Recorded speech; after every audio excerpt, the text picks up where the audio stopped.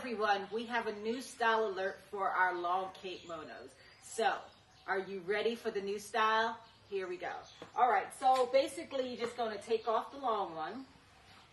And all I'm going to do is just fold it down so that you can see, um, kind of just tucking in. So now it's like this. Got it? And all I'm going to do is just wrap it around her waist. Just like that. Put the belt on. You want to hold that? You can even put a pin here. And I'm just putting the belt on. All right? Just hold it. Cinch it.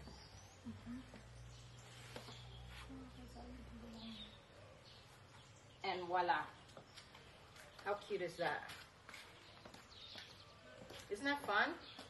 Now, that's 41 ways. Thanks so much, everyone.